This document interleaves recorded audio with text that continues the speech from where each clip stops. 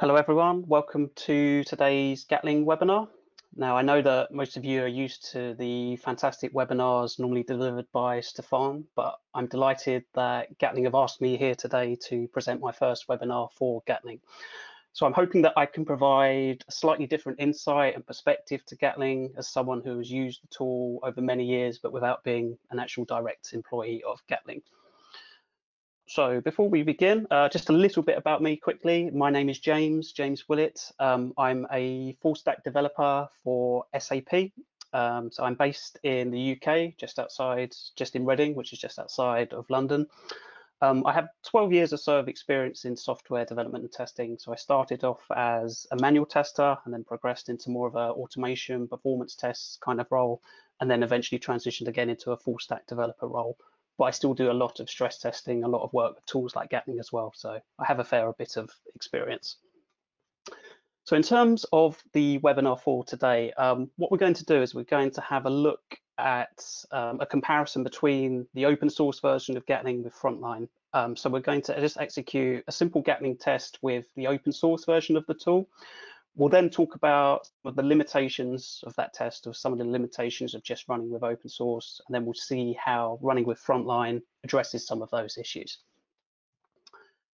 So in terms of the application that we're going to be testing against today, we're going to test against a video game database. This is a fictional database of video games. So it's just a simple API application that I built myself with Java, with Java Spring Boot.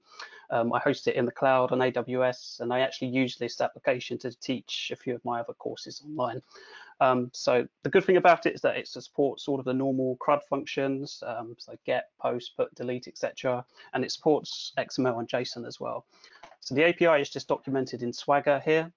So we see if we just call this get endpoints, uh, it will just return this list of video games, which you can see here we call this post endpoint, we could create a new video game. So it's a very, very simple application. The application is not too important. I just wanted to show you it just to give you a little bit of context. That's the application that we're going to be using. Um, in terms of the Gatling script, again, the script itself is also quite straightforward. So just in the next few slides, I'm just going to show a high level overview of the script basically and, and how it works. So with our Gatling script, we set up the HTTP conf at first, and I'm also specifying a header. So like I send the header accept application JSON with every call. Um, one slightly interesting thing about the script is that it's configured to use runtime parameters. So here I've set up runtime parameters for the user count, the ramp duration, and the test duration. So what this means is that I can feed in those parameters at runtime and then they, those can be fed into the test. So if I wanted to run the test with a different number of users, you could put that in on the command line, as we'll see in a moment. In terms of the scenario itself, um, excuse me, it's a very simple scenario. So it's just going to call the three different endpoints. So it's just going to call this endpoint here to get all of the games. It will then call this post endpoint to create a new game, and then this get endpoint here to view the game that it just created. So very, very simple, uh, very, very simple script. The uh, logic behind those calls is abstracted away into methods here just to make the script a little bit cleaner, but it is, it's very, very straightforward. In terms of the setup of the load simulation itself, so we actually ramp the users again, and we use these runtime parameters that we specify here. So we say ramp users, user count. So if we don't provide in a number, if we don't provide in this property, we just default here. So in this case, it would default to three users, and then it would ramp up over 10 seconds. Um, we're also using max duration in this scenario as well. So what will happen is that the scenario will just loop for a, for a specified period of time and then the test will finish once the max duration expires, in this case, 60 seconds. In terms of the architecture for the test, it couldn't be more straightforward. I'm just running Gatling on my local, local machine, and then the video game database is hosted on AWS. So if I jump over now to a terminal, so I can literally just run um, the Gatling test. So I'm using the Gatling Maven plugin here.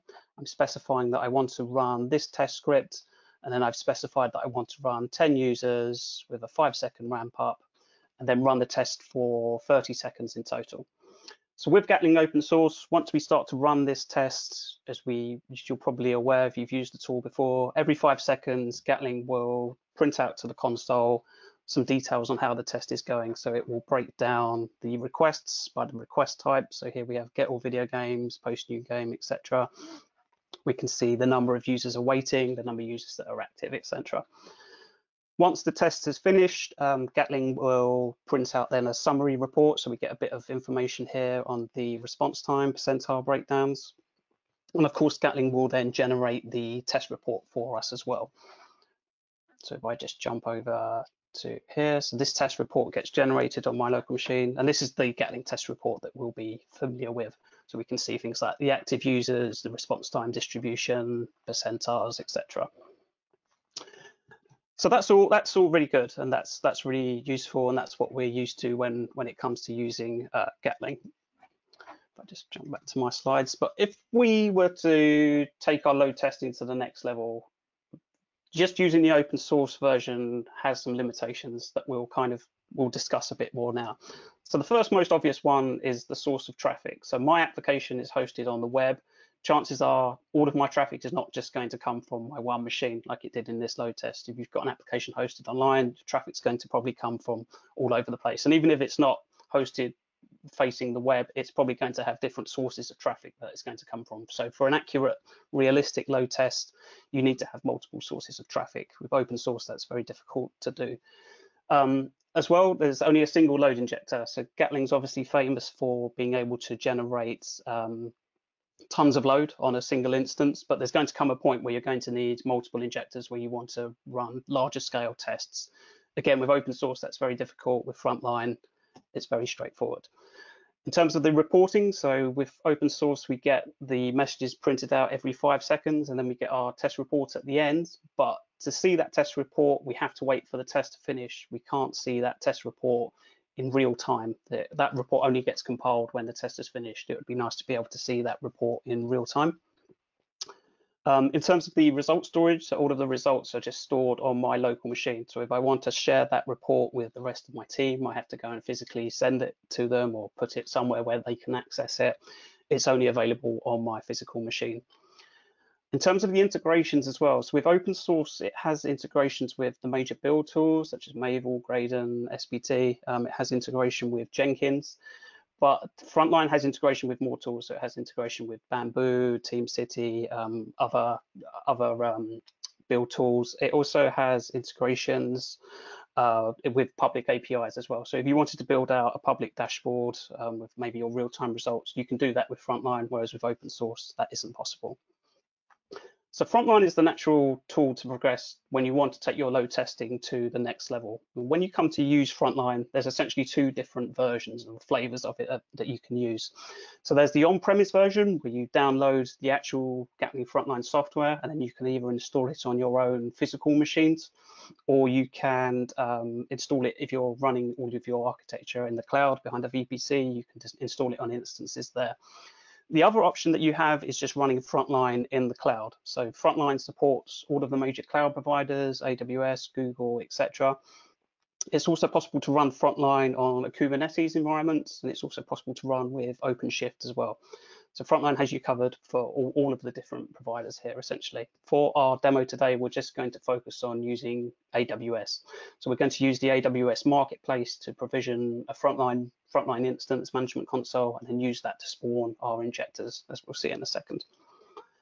So in terms of the architecture for my frontline test, it's very straightforward again as well. So I have my frontline management console instance here um, in AWS. And when I go to run my Gatling test from there, it will spin up um, Gatling injectors in the cloud, again for AWS. It will install Gatling on those. It will then execute the test against the video game DB. It will then collate all of those results from the different um, injectors and provide those results back to Frontline, as we'll see in a second.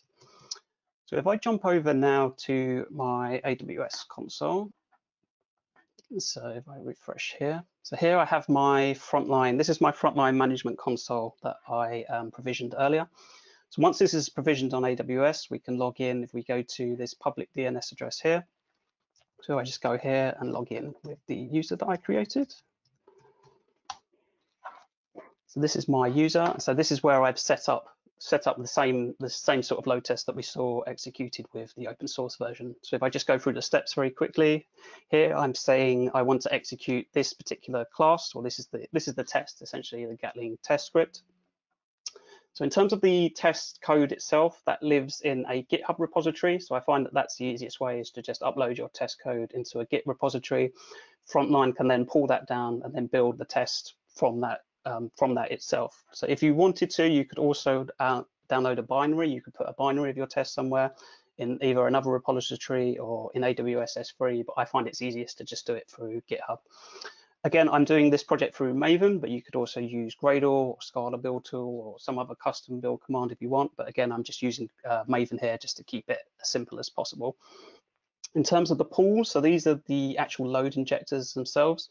So here I've just created one simple pool called frontline test pool. I'm going to spawn three instances of that. So those are in the same geographical locations.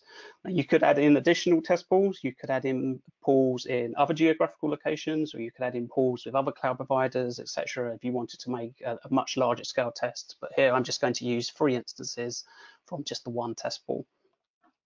In terms of the JVM options, I'm just keeping these as default, but you could add in JVM options here if you wished. In terms of the system properties, so a couple of properties that I'm putting in are the duration. So I'm saying that I want this test to run for 120 seconds, and I want this test to have 100 users. So again, these are the runtime parameters that we saw earlier on in our script. Uh, in terms of the time window as well, I forgot to say that's I'm just leaving that as default, but you could add in some custom delay to the ramp up or ramp down there as well. So if I just go ahead and click start simulation, what will happen now is that Frontline will go away to AWS and it will um, spawn injectors for us. So if I jump over to the EC2 console, we can see here that um, Frontline is spinning up instances of the free injectors for us. So what happens is that Frontline will spin up these instances, it will install Gatling on all of them, it will then execute the test. It will then collate all of the report, all of the results, combine them, give them back to Frontline. And then uh, Frontline Management Console will then tear down these instances as well. So these instances are only active and you're only being billed for when you're executing the test. So in this case, my test is only two, two minutes. So I would only expect to be billed for two or three minutes or so. Excuse me. So it takes about a minute or so for um, Frontline to spawn the injectors and to install Frontline on there. So you can see in the logs um, how Frontline is getting on. If I just look into the logs here, and I can see all the injectors have started, proceeding with the running. So Gatling is executing the load test now. Now, the other great thing about Frontline compared to open source is that we can view this report in real time. So even though this test has only been running for a few seconds, we can jump into the reporting right away. And what happens here is we get a breakdown again of the test report with um, all of the details of the load test. So we have details of the requests and responses, response time percentiles, errors per second, um, etc. The other great thing about Frontline compared to open source is that we have a lot more detail in our reports here. So there's a lot more metrics reported on, there's a lot more detail available for the user. So we can see here things like the arrival rate, the concurrent users, we have some details here on the connections as well, so we can see the open and close rate, the TCP connect duration, etc. Um, I'm not actually using TLS security in this test, but if we were using TLS, then you could see data on that reported on here as well.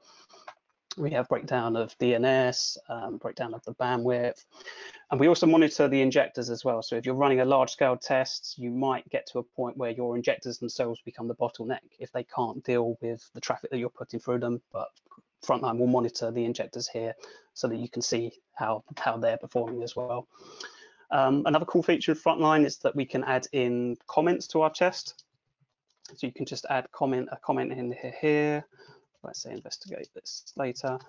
So that comment will then go into the report, and then that can be useful as a reminder, or if you want to share something with the rest of the team, um, etc. That's a really, really handy way of doing that.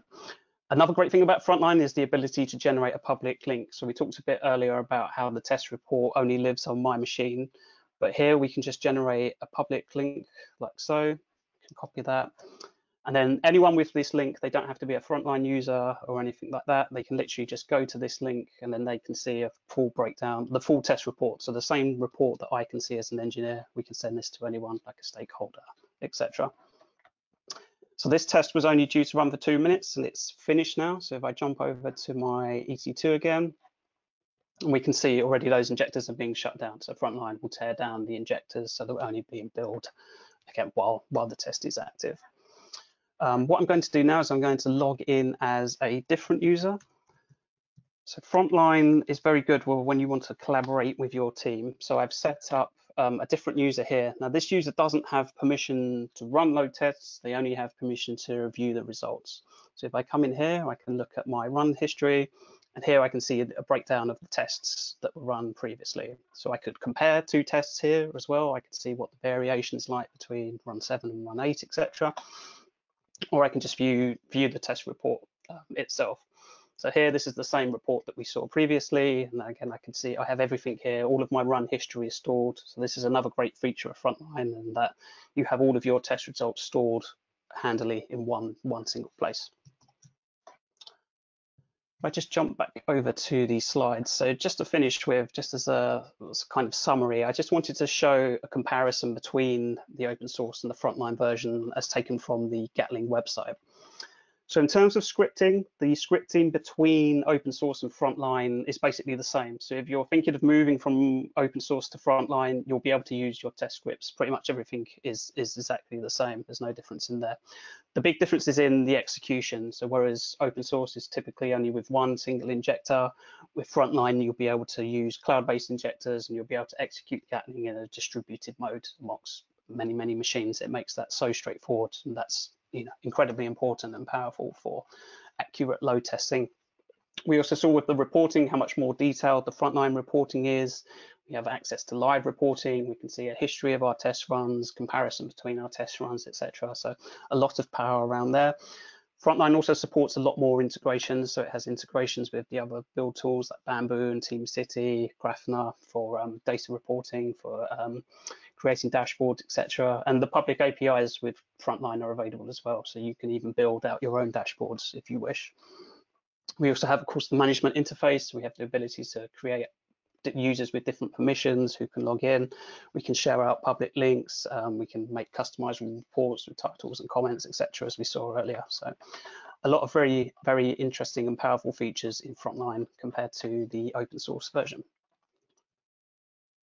So that was the main content that I had for the webinar today. Um, hopefully that was useful. Okay, thanks for your time today. Hopefully see you all soon. Thanks.